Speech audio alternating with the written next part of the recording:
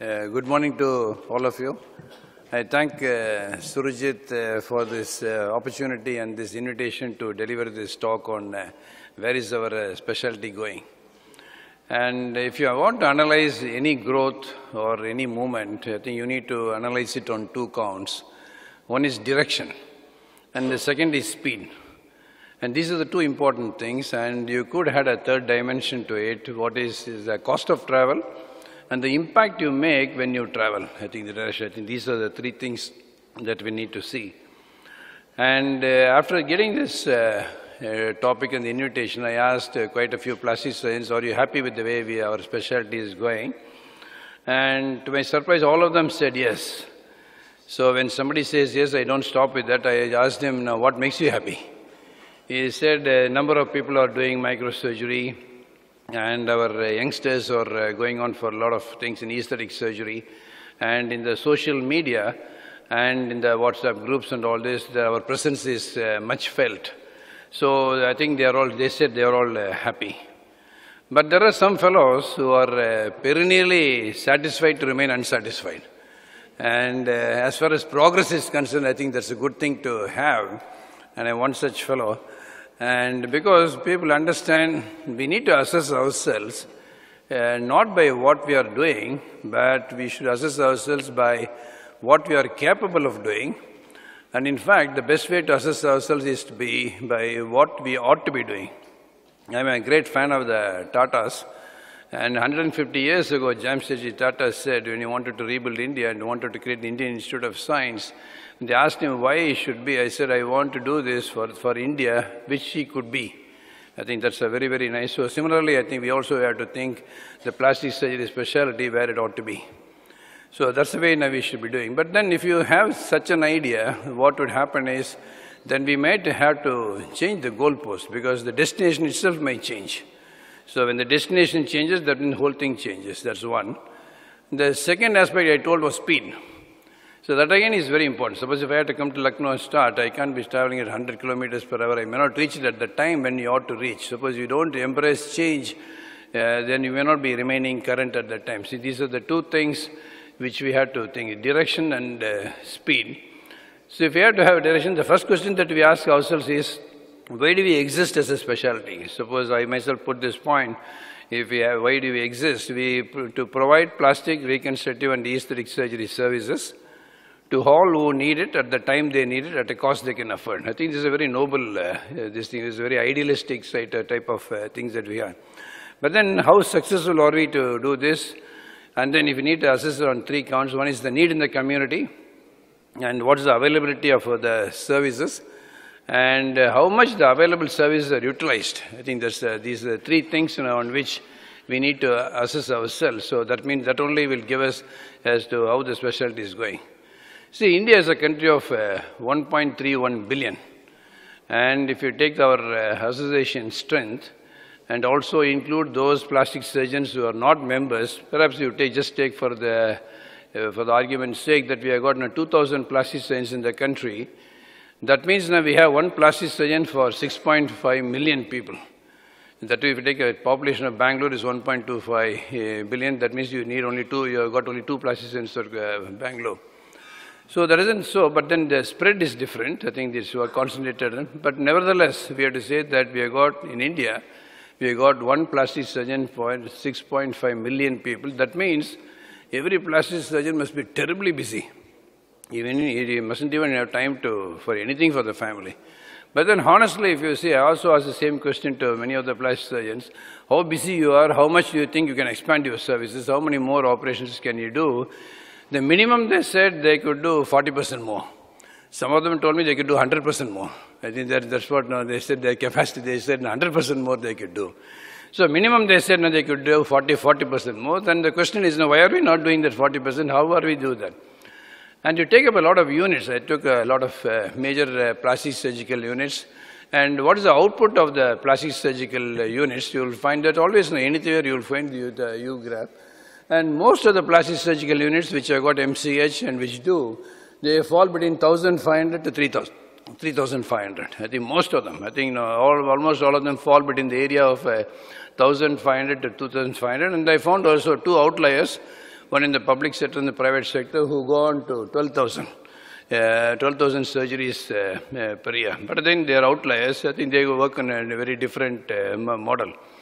So the gap between need and availability utilization, you will find there's a big yawning gap.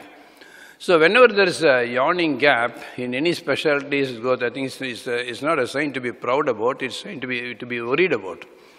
See, when you don't take the efforts to fill the gap, you need to understand that your existence and growth will be threatened. A lot of people feel that if you've got a tremendous demand that you'll be, you'll be growing, but in fact that's not the thing. Somebody else will find an alternate, alternate pathway. I do not know who said this, but then I got it in my book, which I always used to feel as far as uh, whenever I take decisions in a hospital. When there is a need, and if you don't grab it, somebody else will, and you'll be left to mourn the loss. I repeat, you know, when there is a need, and if you don't grab it, somebody else will, and then you'll be left to mourn the loss. It's not only the way that your practice points, but also the way you practice. I think that is the point.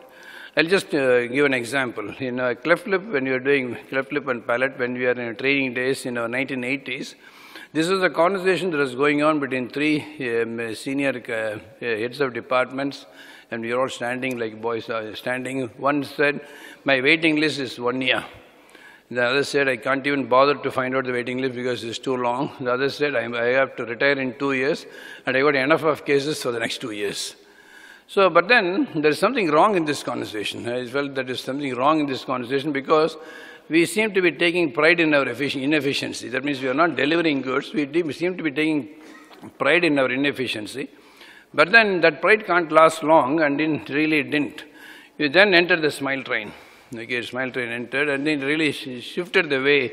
Uh, certain centers in our country almost did about uh, 300 to 400 uh, clefts per month.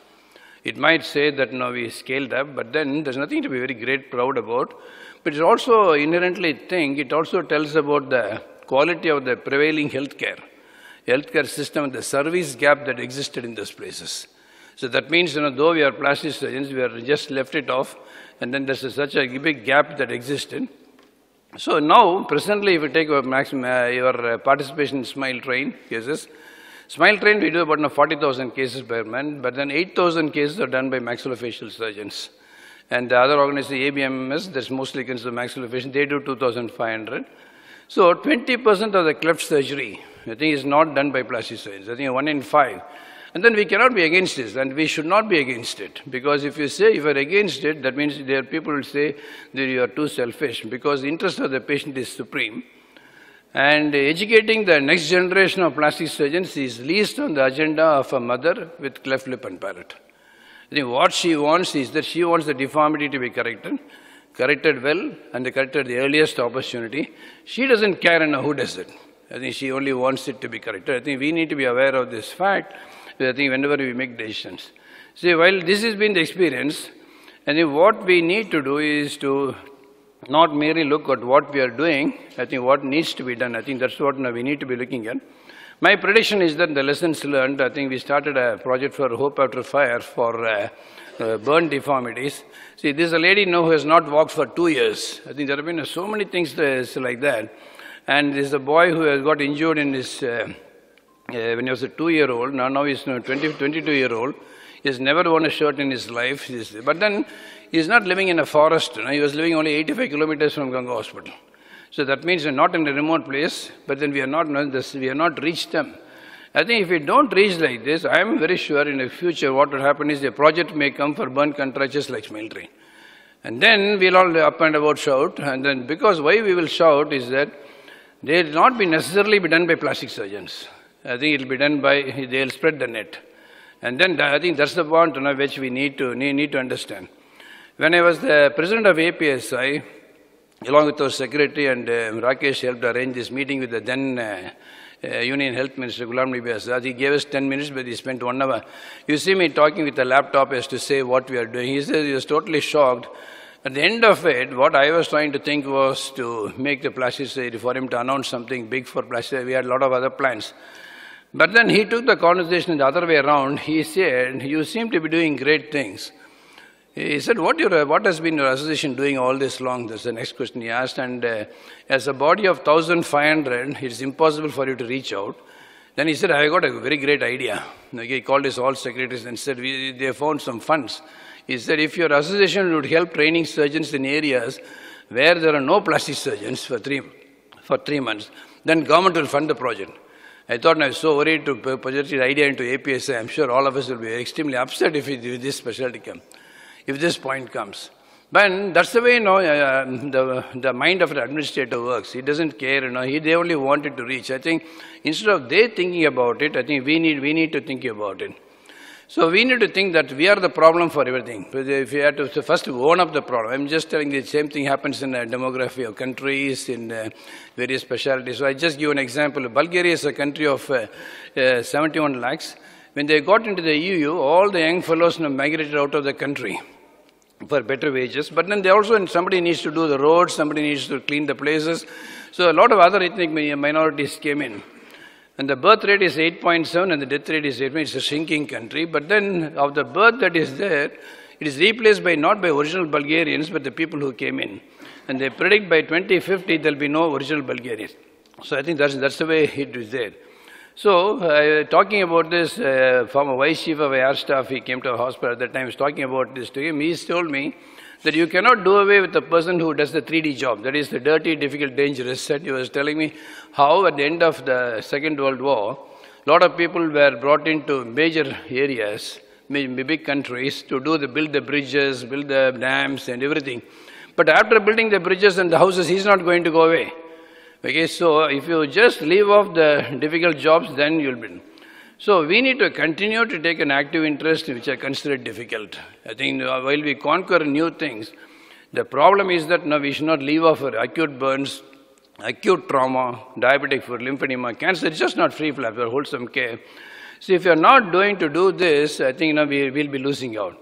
If you just try to do things which are easy, then the competition level becomes higher. So you need to offer a product with a quality at a price you know, others can't match. The chances of losing out in this competitive race with dermatologists others is higher unless the quality gap or the price advantage is very high.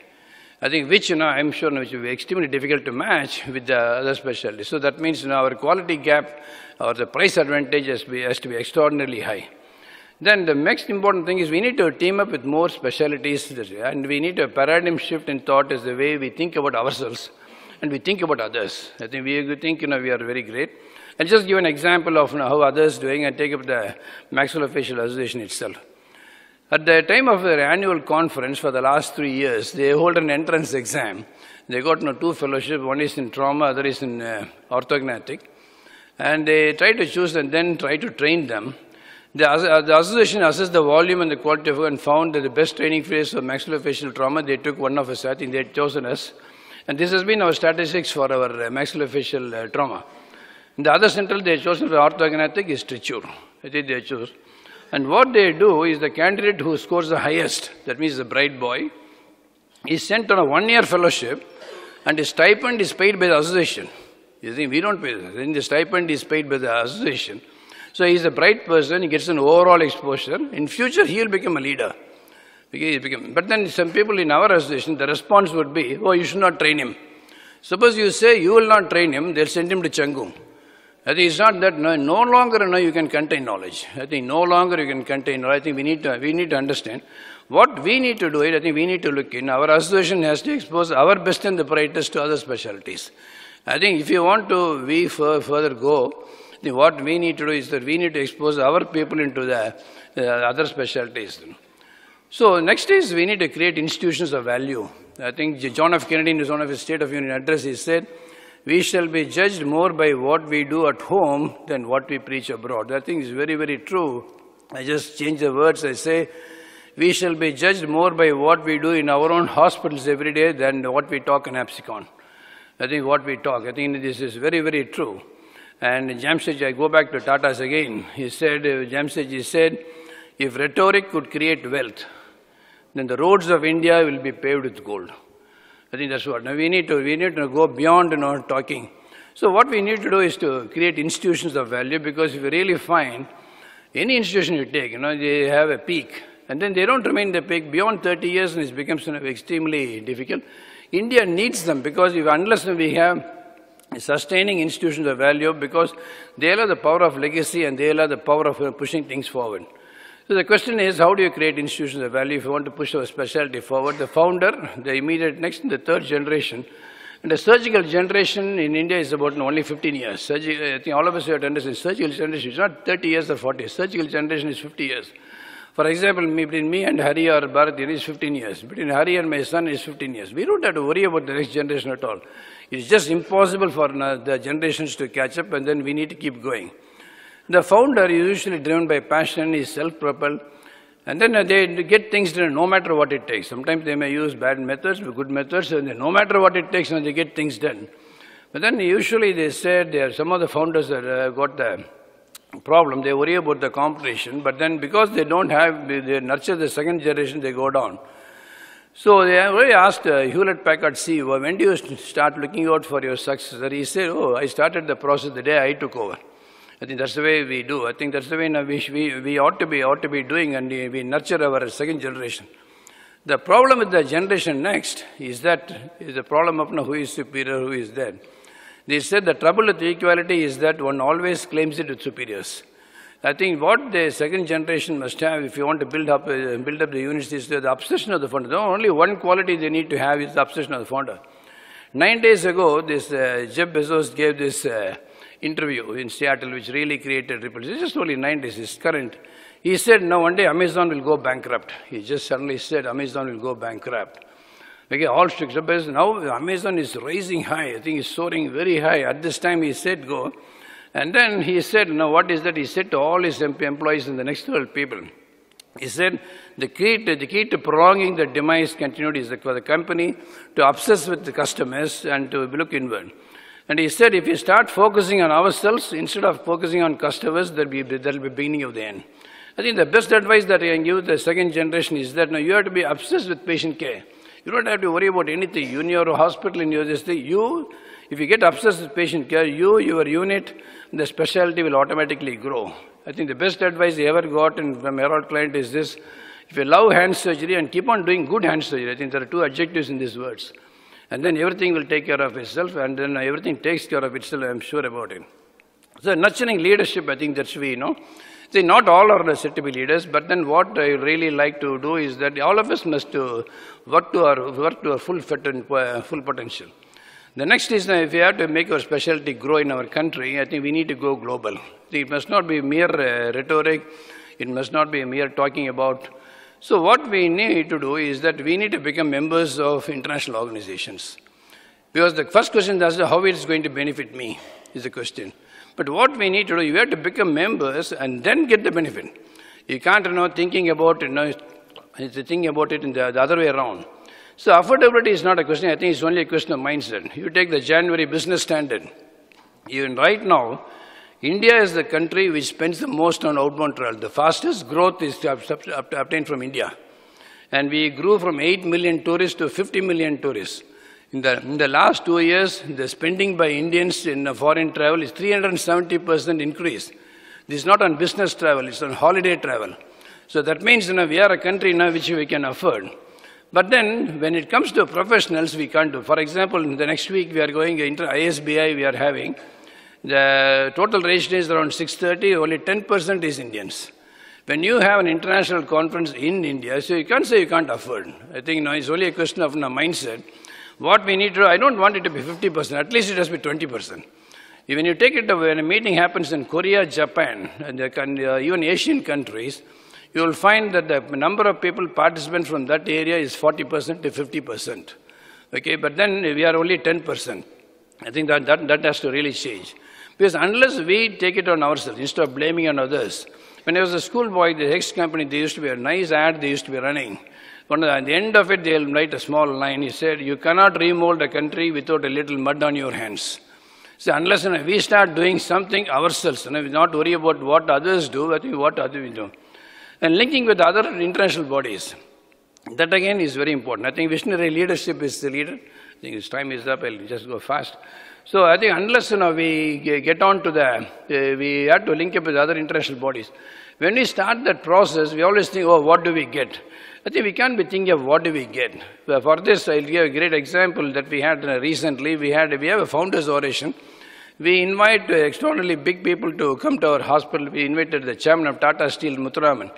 He said, now we shamelessly went everywhere to learn. And he said, at a time when Tata Steel was not making profit, the management boldly decided to send top executives to a leadership training program in France, the fee for which was one crore.